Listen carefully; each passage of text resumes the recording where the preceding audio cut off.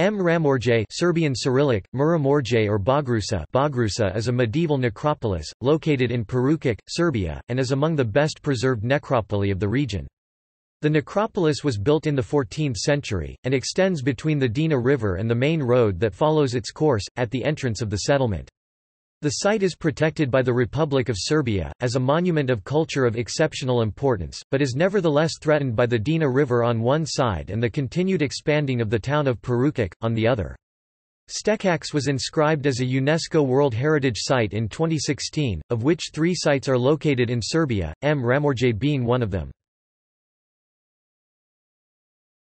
The necropolis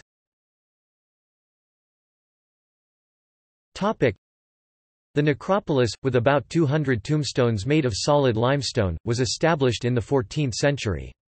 The largest found specimens of tombstones in the necropolis reach a length of 2 meters (6.6 feet) and a width and height of nearly 1 meter (3.3 feet). Earlier sources record a number of 122 monuments, while according to recent data, there are 93 as follows, 46 panel, 18 slemenjak with stand, 10 slemenjak without stand, 7 sarcophagus with stand, 10 sarcophagus without base, and 2 amorphous samples. Over time, some of the tombstones were moved, others have sunken into the ground, while several items were transferred to museums two tombstones with no decorations are in the collection of the Ethnographic Museum in Belgrade, and one is in the National Museum in Užice. Tombstones in the necropolis are arranged in regular rows, and also tend to have an east-west orientation.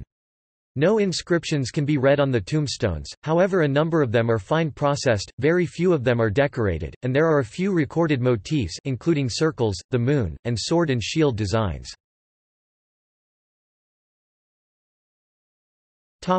See also.